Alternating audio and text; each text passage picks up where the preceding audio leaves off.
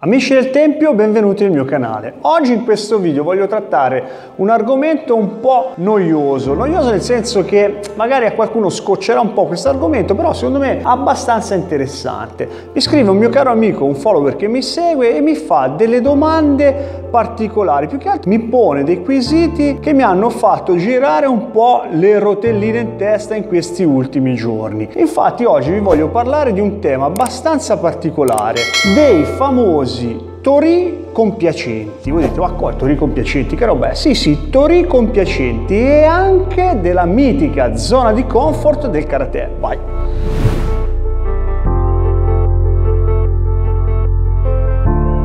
Allora, sì ragazzi, un mio caro amico mi scrive e mi mette in testa questa cosa veramente che qualche giorno che mi gira, mi gira, mi gira le mie piccole rotelline, questi ingranaggi che non fanno altro che pensare a questo quesito. Allora, i tori compiacenti. Sicuramente voi ragazzi avete partecipato a stage di qualsiasi genere, con i grandi maestroni, dai giapponesi ai grandi maestri di karate in Italia, anche i vostri maestri sicuramente li hanno fatti, continuate a farli e fate bene a fare così, ma se ci fate caso, di fronte a questi grandi personaggi o oppure se li vedete sui video, su internet, YouTube, da qualsiasi parte, ormai si vede qualsiasi cosa da qualsiasi parte, vedrete sempre che c'è sempre un Tori compiacente. Cioè, cos'è questo Tori compiacente? Sì, allora il classico maestro dice allora ok, prova a attaccarmi con uno Tsuki destro, prova a attaccarmi con uno Tsuki sinistro, prova a attaccarmi con un Maigeri, qui là su e giù. E sono cose abbastanza, eh, cioè abbastanza, sono cose, sono attacchi programmati dove il grande maestro di turno è molto facilitato, cioè sa che arrivano i Tsuki, chiaramente fa la sua mitica parata, contrattacco, tutti i suoi numeri, pa, pa, pa, e butta a terra l'avversario.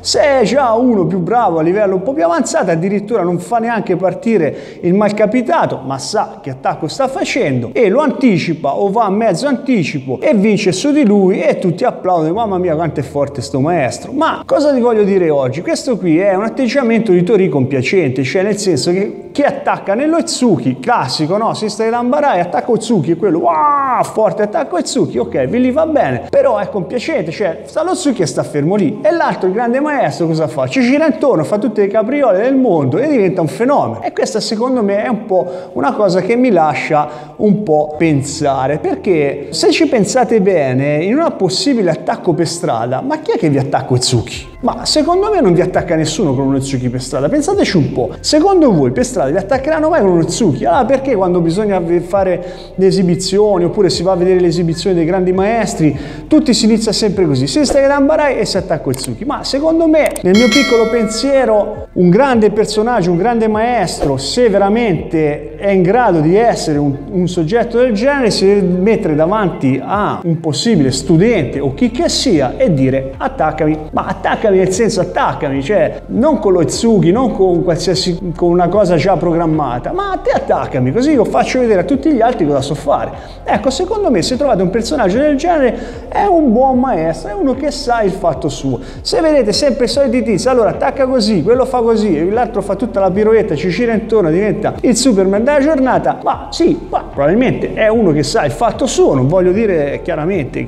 sa quello che bisogna fare, però il Tori, cioè colui che attacca, è compiacente, quindi sta fermo lì, sa, fa solo quella tecnica lì e l'altro lo mena e vabbè e siamo tutti contenti. E invece c'è un'altra zona che voglio affrontare oggi, un altro argomento che è la zona di comfort. Vai!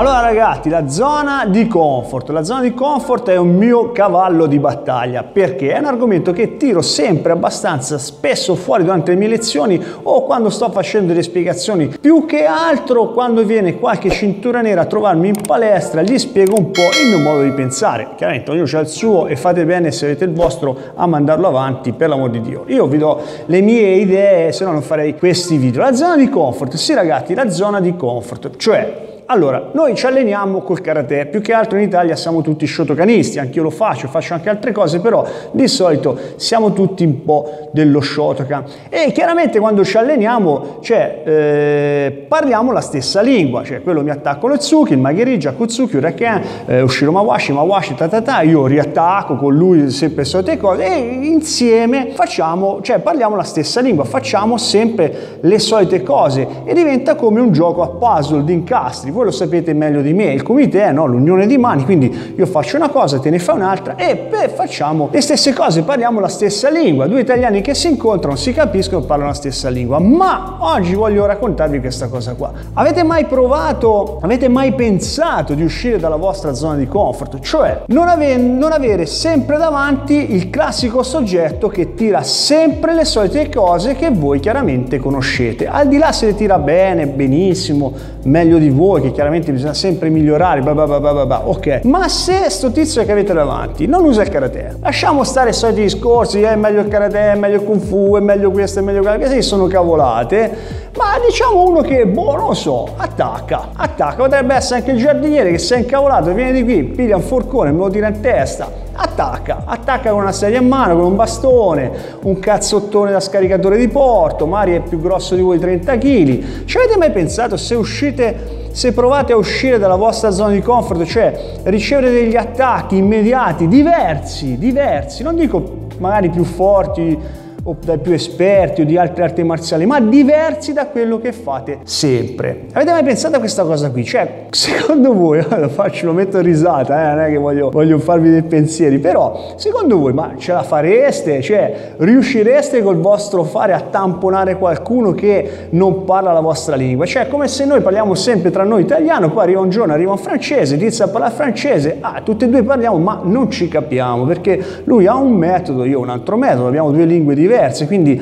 ce la facciamo a capirci. Quindi il messaggio che vi voglio dire oggi, al di là dello che è compiacente, è anche della zona di comfort, cioè eh, questi due modi secondo me vanno un po' a braccetto. Non sempre il solito tip, tipo che vi tira sempre la solita tecnica e sta fermo lì come un rimbambito e l'altro fa il Superman. E poi un'altra cosa è un altro che tira ma non tira il classico attacco da karate magari vi tira qualcos'altro, qualcos'altro anche proprio di impensabile. Quindi se usciamo dalla zona di comfort, se uscite dalla zona di comfort, se usciamo, mi ci metto dentro anch'io, ce la facciamo? Questa è un'altra domanda che mi ha scritto un mio caro amico che mi segue da diverso tempo, il mio follower, e mi dice, mi scrive, mi ha scritto, Massimo, ma sta a sentire, ma uscire dalla zona di comfort è possibile? E siccome io già un po' di tempo che ci penso a questa storia qua, non è facile. Esempio, ho un mio caro amico che è un pugile e scherzando e ridendo qualche volta ci si incontra e facciamo due cavolate insieme. E vi devo dire che non è facile non è che noi karateka ci mettiamo mai tra i capelli io Mari no perché non ce l'ho neanche ma vi dico che non è una passeggiata perché chiaramente il pugile lo saprete meglio di me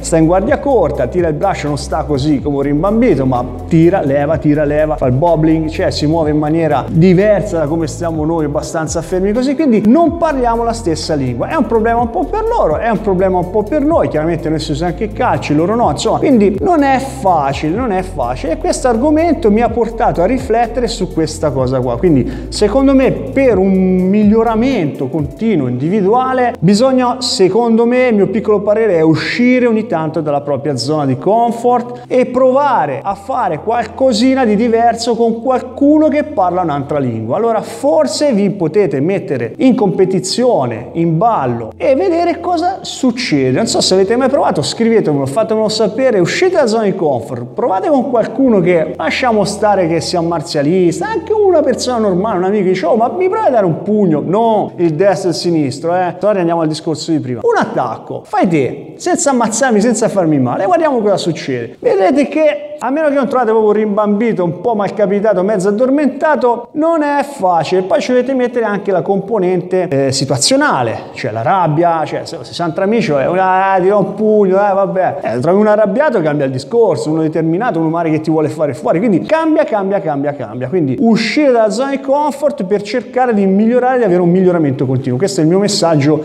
di oggi. E poi basta basta con sto compiacente che veramente non si può più vedere. Se è una cosa didattica va bene perché chiaro, no? Facciamo il fermo in magia, a questo punto ragazzi ce la far così cos'ha, va benissimo, però vedere sempre questi super maestroni che fa, esiste da imparare, Otsuki oppure il Magherita, ah, tirami il wash, guarda qui, guarda che sono bravo, passo sotto, faccio la pirouette, sì vabbè bravo, ok, bisogna saperlo fare, ma è che è troppo facile perché si sa uno cosa attacca. Vorrei vedere se uno dice allora tirami destro, invece voi all'improvviso tirate di sinistro, ma io ho visto in alcuni allenamenti, specialmente col bastone, fare anche delle figurette non da poco, cioè il classico tipo dice allora te attaccami col bastone così e invece poi magari c'ha davanti il tipo un po' scemotto, scemotto un po' non sta tanto alle regole, magari quello invece di far così si è caricato il bastone come bisogna caricare, gli è andato vicino, poi pa, e dopo che si fa? riesce a parare, non riesce a parare, insomma, le ho viste in diretta un po' di figuracce, quindi usciamo dalla zona di coffer ragazzi che è meglio, vai andiamo in finale. Amici del Tempio il finale non c'è, non c'è perché ve l'ho raccontato finora cosa dovete, cioè cosa dovete, cosa secondo me sarebbe meglio fare, quindi eh, basta tori compiacenti, uscite dalla zona di comfort e provate ad avere un po' un bagaglio mentale un pochino, di di, un pochino più ampio, nel senso studiate quello che dovete studiare perché bisogna saperlo fare bene il karate nei minimi dettagli, sia Kataki, On, Kumite, tutto quello che bisogna sapere, ma secondo me a un certo punto bisogna un po' evolvere, uscire un po' fuori dal seminato, non troppo, se no perdete troppo il do, ma insomma vedervi un, guardarvi un po' intorno. Iscrivetevi al mio canale, lasciate un like, un commento, oh, fatemi sapere, ma la zona di comfort vostra qual è? Il divano? No, dai. Ciao, ciao dal Tempio Massimo.